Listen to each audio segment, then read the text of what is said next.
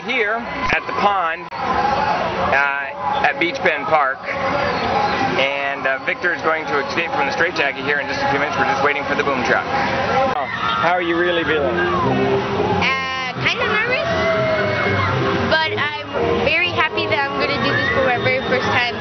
50 feet in the air, is that right? I'm not sure, 50 to 60 feet. How's your stomach feel? Ill. Starship 4000. Starship 4000, you mean you just feel like you came off a speedy ride? Yeah, So your tummy kind of hurt? yeah. My tummy doesn't kind of hurt, really, really hurts right now. And you think mostly it's because of nerves? Yeah, kind of, yeah. But are you excited about this? Yep. I mean, if you do this, you're going to be uh, probably the youngest. youngest guy ever to do this.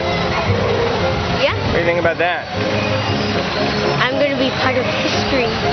Part of history. So what do you think of this uh, like um, straitjacket escape going on? I think it is so exciting to see a 10-year-old boy hang from a bucket truck and escape, attempt to escape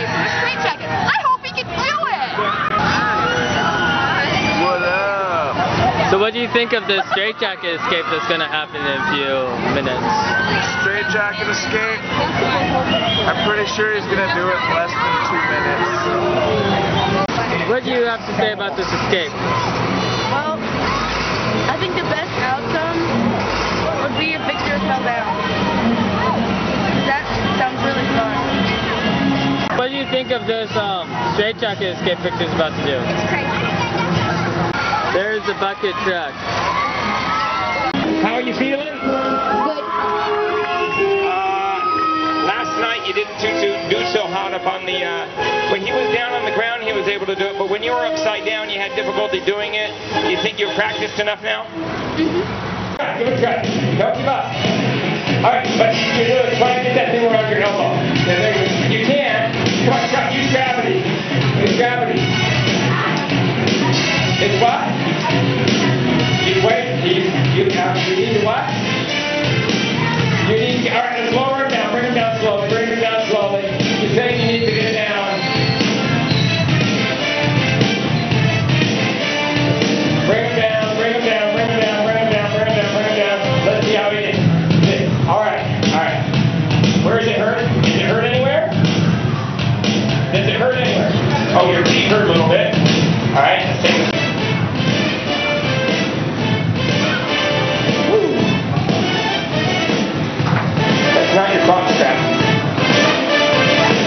Your crotch strap.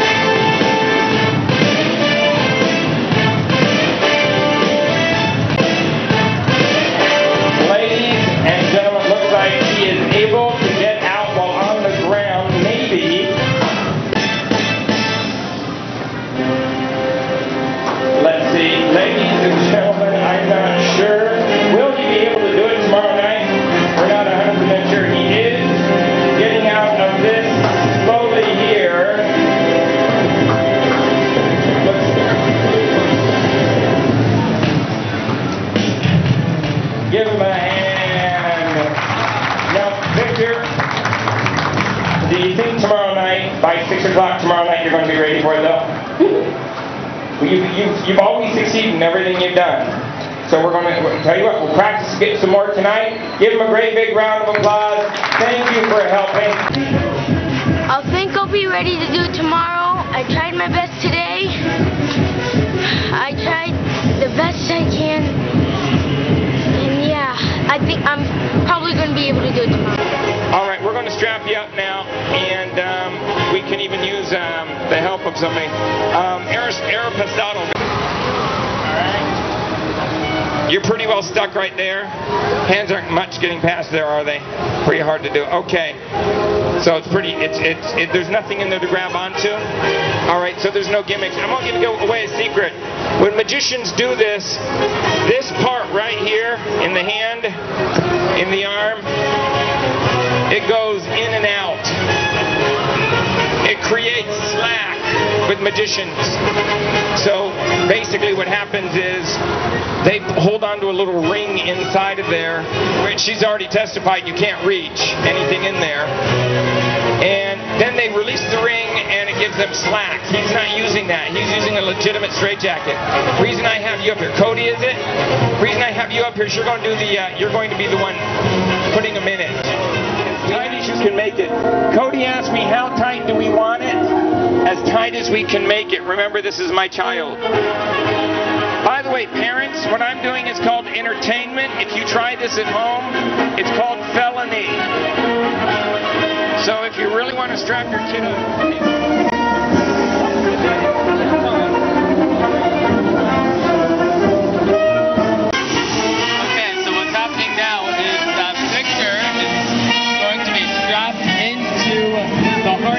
Take him about 40 feet in the air, more or less.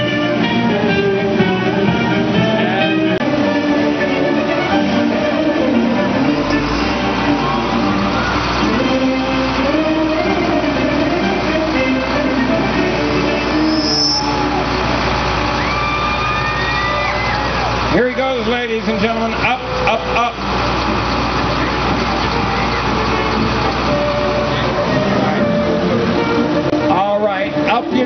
Take on up. And then over the water.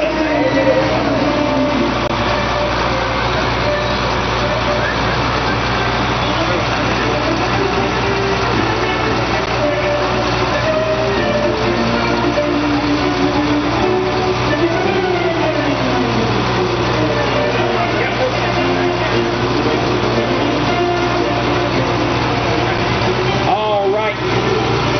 Mr. Boomman, take it up you go.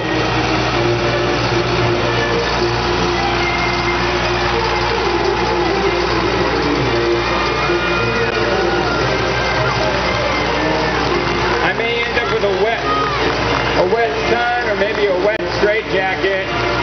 This is his first attempt at this height. He has tried it at 10 or 15 feet.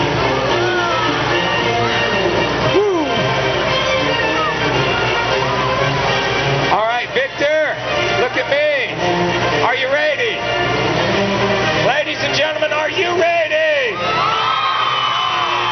10 years old and one day. Victor, go for it. Oh, wait a minute. That he's doing a lot better than he did yesterday. Apparently, that morning practice seemed to be working. All right, he's working on the crotch strap. That's the fastest. You know, I think fear seems to help him a little bit.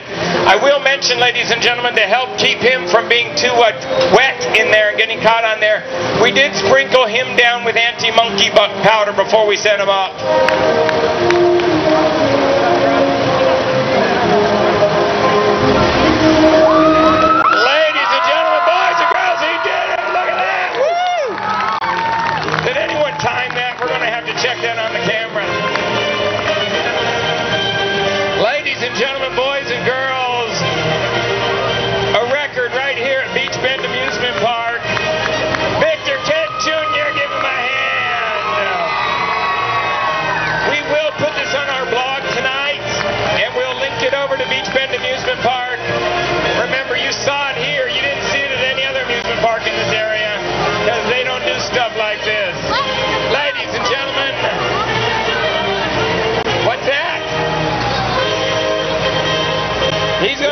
Something. As he's coming down, he's excited.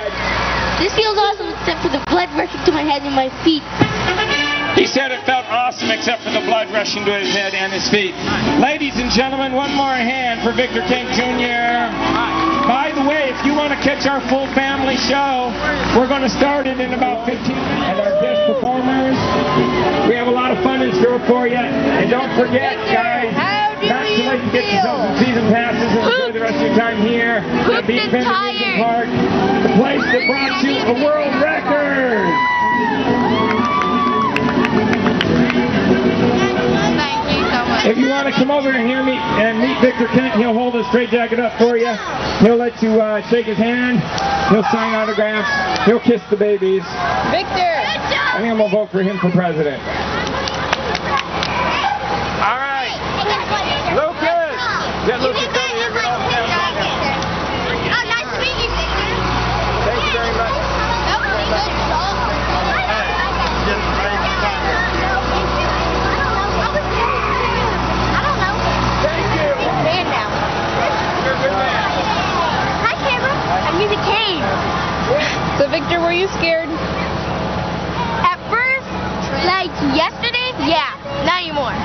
When you were up in the air, as they were lifting you up, did you get any, scared at all? No. But when I looked down at my daddy, he looked like an ant. Did everyone look like ants? Yeah. Was it cool that so many people showed up? Uh-huh. How many people do you think showed up? 150 people? Really? I'm not sure. Well, good job, buddy.